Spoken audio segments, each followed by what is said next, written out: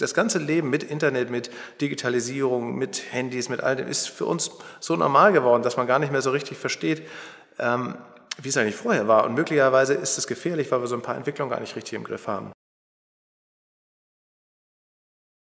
Ich merke das immer so bei meinen Studierenden, die stellen eine Frage, in der Regel erster Zugang ist Google und was da nicht auf der ersten Seite taucht, auftaucht, ist für die auch nicht relevant so richtig und die stellen sich gar nicht die Frage, die, die stellen sich nur die Frage, ah, ich habe eine gute Frage gestellt, Google antwortet mir was. Die stellen sich nicht die Frage, was zeigt mir Google eigentlich nicht? Und das ist ja eigentlich die viel spannendere Frage. Also warum steht das da, was da steht? Und warum steht das in der Reihenfolge da?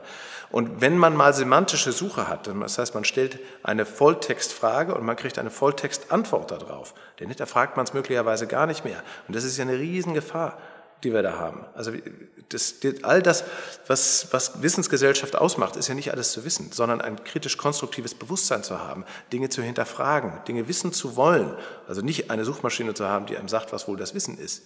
Und da merkt man schon, Aufgabe der Universitäten wird, wird eine andere. Also nicht die Frage der Wissensvermittlung, ist die Aufgabe der Universität, sondern der, der Erzeugung eines kritisch-konstruktiven Bewusstseins. Wie gehen wir eigentlich mit Wissen um? Was muss man eigentlich verstehen, um Wissen einordnen zu können? Und das ist die große Herausforderung der, der digitalen Zukunft. Wir wollen nicht, dass es irgendwann mal irgendwelche globalen MOOC-Universitäten gibt nach amerikanischem Vorbild. Und wenn wir unsere eigenen Kurse machen wollen, müssen wir Lizenzgebühren in irgendeinem Riesen bezahlen, sondern wir, wir wollen da selbstständig und selbstbewusst auftreten können und unser eigenes Profil machen. Und wir haben in Deutschland ja viele, viele Chancen, die, die besser sind als in anderen Ländern. Wir haben zunächst mal staatlich finanzierte Hochschulen. Wir wissen gar nicht, wie, wie toll das ist, dass wir sowas haben. Wir sind nicht primär darauf angewiesen, dass die Wirtschaft uns finanziert. Freiheit von Lehre und Forschung ist nur deswegen möglich, weil wir so aufgestellt sind. Das ist, ist äh, was Besonderes.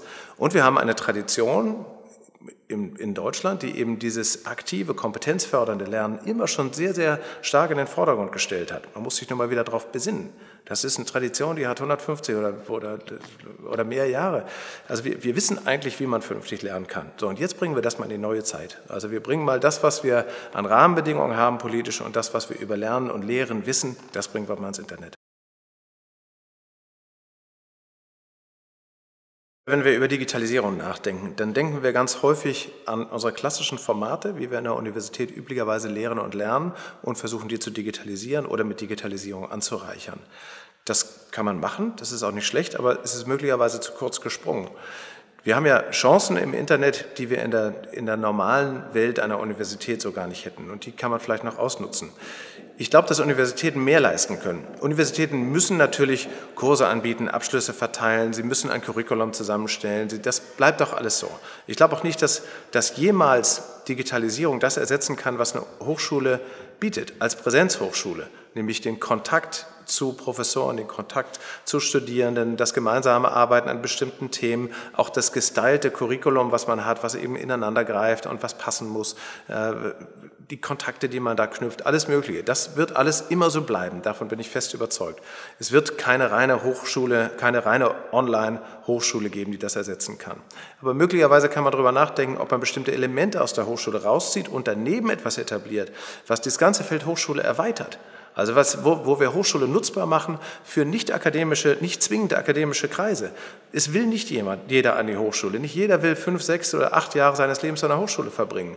Aber trotzdem kann es sein, dass die Leute sich mit akademischen Themen beschäftigen wollen, bestimmte Dinge wissen wollen. Das ist ja gut. Das ist für mich, das ist für mich ähm, die offene Wissensgesellschaft.